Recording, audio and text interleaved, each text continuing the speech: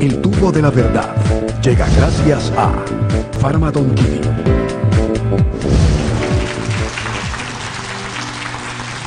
Hola amigos, ¿cómo están? Tenemos un caso de un niño de 5 años, un niño que debería pensar solo en disfrutar de la vida y sobre todo en sonreír. Pero lamentablemente la sonrisa de nuestro pequeño invitado se ha convertido literalmente en sinónimo de enfermedad y dolor. Conozcamos la historia de Jesucito. Adelante. Doctor, le escribo desesperada por la salud de mi sobrino. Él es Jesús, tiene apenas cinco años y viene sufriendo una fuerte infección. No sabemos qué tiene, pero sus dientes se le han partido y caído. Todos los días sangra y últimamente está teniendo fiebre muy alta. Ya no come sólido, todo se lo tenemos que dar licuado, incluso el pan remojado. Ya no puede cepillarse ni dormir. Ya no sabemos qué hacer. Ningún odontólogo quiere curarlo, porque dicen que es muy grave. Nosotros no tenemos dinero para operarlo. Los días siguen avanzando y él se sigue empeorando. Temo que le pueda pasar algo muy grave.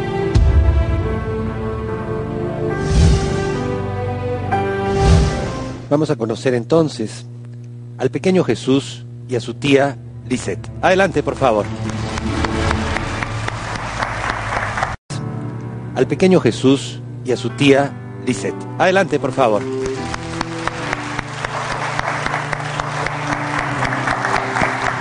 Hola. Hola, Jesús. Hola. Dame un abrazo, venga para acá. Ay, ¿Cómo estás, Jesús, señor? ¿Cómo. ¿Cómo está?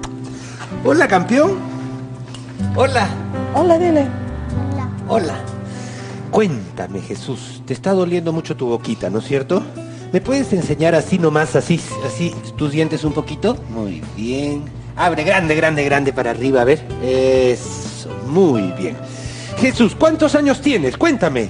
Cierra la boca. Así, cuatro, Fuerte. Cinco. cinco, entonces toda la mano completa, ¿ya? Cierra Cinco, ya, cierra tu boquita nomás. A ver, Jesucito, entonces quiero que me digas, a ver, bueno, tenemos un caso, señora, que en realidad, como cirujano, no, no, no- no estoy muy preparado para ver este caso, digamos, ya, pero tenemos un especialista que nos va a ayudar. Pero antes de eso, nos gustaría ver qué datos tenemos en nuestro tubo. ¿Nos ayuda Jesús? Súbete acá, por favor. Eso, muy bien. Mira, solito para adelante, vamos a apagar un poquito la luz y ya está. Muy bien. Perfecto. Acompaña a tu tía Liseta. A ver, eso.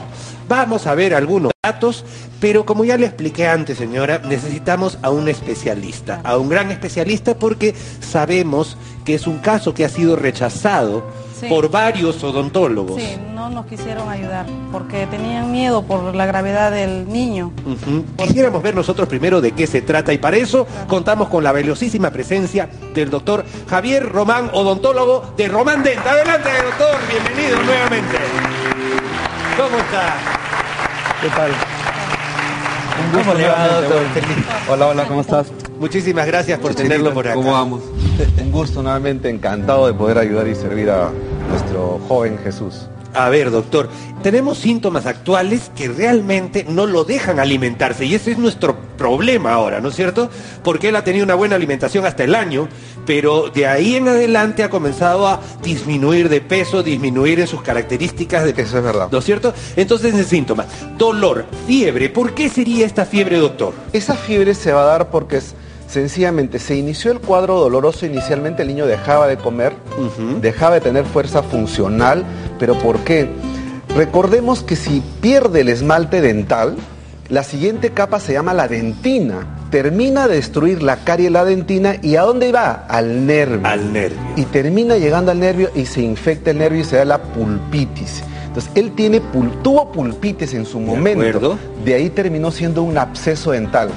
Sangrado. Obviamente si hay una lesión de las encías, si hay una lesión del diente en sí, se va a producir un sangrado, sobre todo al momento de tratar de cepillar esos dientes. Solo masticando encuentras, encuentras ya sangrado producto de esta supuración. Debe ser Es- bien, es- bien es- duro, es doctor. o sea, extremo el caso, es pero ya lo extremo vamos realmente. Y todo esto producto de una infección. Seguimos con los datos que nos da nuestro tubo. Características de sus dientes. Son dientes cariados, es decir, tienen cavidades. Al no tener esmalte, la dentina se va a fracturar, se va a cariar con mucha facilidad. Muy bien. Producto de la infección está el segundo síntoma, que es la movilidad de las piezas dentarias y en consecuencia el, el inmediato sangrado, razón por la cual él no quiere comer porque no tiene fuerza dentaria. O sea, De todos cuando queremos masticar, tenemos que necesitamos una fuerza ideal. Falta del esmalte, que ya lo hemos hablado, y abscesos dentales. Otro más tenemos acá, otro dato muy importante para, para un niño. Número de dientes sanos. Vamos a ver. Ninguno. Ninguno. El diagnóstico. Adelante, por favor, señor director. Amelogénesis imperfecta, lo que usted ha dicho. Falta de esmalte dentario en los dientes, lo que lo hace mucho más susceptible Así es. a cualquier agresión del medio. La más común es la caries. La más común es la, La caries. común es la caries. Podemos venir para acá, doctor, para mirar esto. Acompáñame Jesús y su, y tía. Lisette, por favor, acompáñenos por acá. Doctor Javier, estas son dientecitos normales, Sanos. sanos. Jesús debía estar en este cuadro. Jesús debería estar acá. Tenemos la sonrisa de Jesús. Adelante. Es una sonrisa obviamente eh, de niño, no tiene mayor interés en, en- en ocultar el problema bucal, pero sí se nota que hay un problema bucal porque las piezas dentarias están totalmente destruidas como se pueden visualizar. Por eso es que hay que controlar la infección general que tiene el niño en la boca para darle un buen inicio a las piezas de adulto que se van a venir en los próximos meses, por así decirlo. Jesús, por fin te vamos a ayudar. ¿Qué te parece? Gracias al doctor Javier Román, que va a ayudarte para curarte tu boquita, ¿te parece? ¿Sí? Y nos vas a ayudar a ayudarte, ¿no es cierto? ¿Nos acompañas para que el doctor te pueda examinar acá? ¿Sí? Muy bien, gracias Jesús. Vamos a ver, gracias Vamos, maestro. vamos, vamos, Qué por favor. este. A ver, hijo, permíteme ayudarte. Sí. Ven, ven, hijo. Ven, ven, ven, para acá. Eso es. Uno, dos. Upa. Eso, Jesús. Muy bien. Relájate, estate tranquilito. Muy bien. Bueno, como te comentaba, eh, lo que más nos preocupa es controlar los niveles de infección. Vamos a, por la edad, vamos a eh, juntar al equipo de la clínica Romandem. Vamos a Bien. pensar. A ver, ciérrame un ratito, cierra, cierra para poder darnos cuenta. Estas piecitas de acá tienen movilidad dentaria. Así se ve. mueven. Entonces lo que vamos a hacer con, con Jesús es vamos a ver la forma de sedarlo para atender varias piezas dentarias a la vez y que podamos tener éxito porque no podemos atenderlo pieza por pieza. Sería contraprudente para poder combatir los niveles de infección altos que tiene este Jesús en esta primera etapa, ¿no? Muy bien.